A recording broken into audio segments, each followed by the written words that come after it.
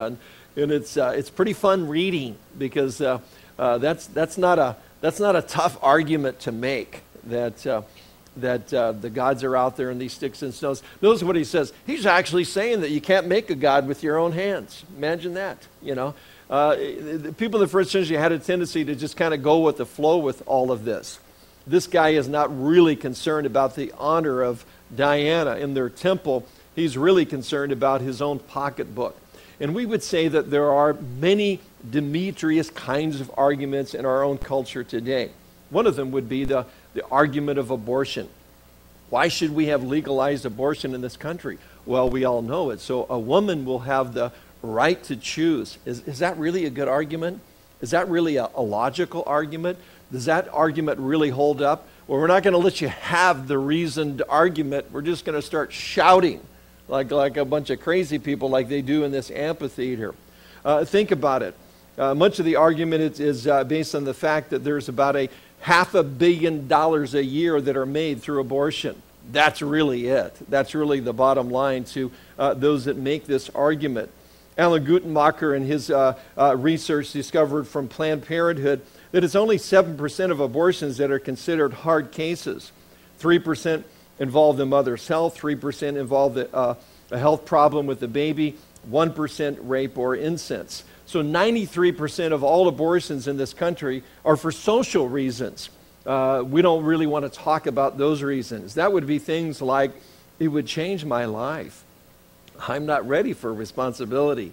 I can't afford a child. I'm in a bad relationship. Uh, I have enough children already.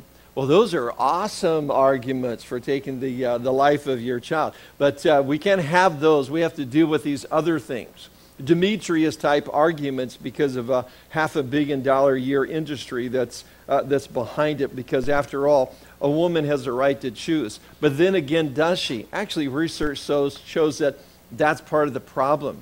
Women have abortions because they don't have a right to choose. In an article entitled Who's Making the Choice, in a post abortion uh, review states that hundreds of thousands of women undergo unwanted abortions every year to please someone else or because of pressure or coercion by their sexual partners, parents, social workers, counselors, employers, or school administrators. A boyfriend or parent threatens to throw her in the streets unless she follows his or her wishes. A boss gives an employment ultimatum. Social school stigma interferes with the choice the girl would otherwise make. According to the survey of 252 post abortive women, more than half said they felt forced into an abortion by others. Forced, that doesn't sound like a choice, does it?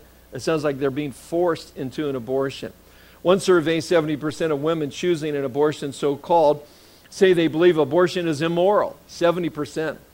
They violate their own conscience. It's not because of choice, it's because of pressure and they're being pressured into it.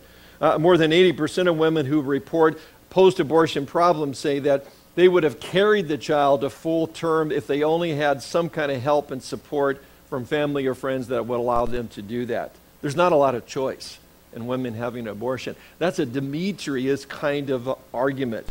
Can a woman choose with her own body to steal, to do illegal drugs, to be a prostitute? No, no, they, they certainly can't. There's lots of things a woman can't do with her own body. Again, uh, this, log- this reason uh, for abortion that everything is predicated on is a Demetrius kind of argument. It's disingenuous. It's disingenuous to women themselves, uh, and it's all driven by a half a billion dollar a year uh, industry. So here in Ephesus, one man speaks against the church, and it's quite uh, dishonest. Uh, and we live in those kinds of times today as well. Secondly, the crowd shouts against the church in ignorance. There's a little shouting going on today as well. Verse 28. Now, when they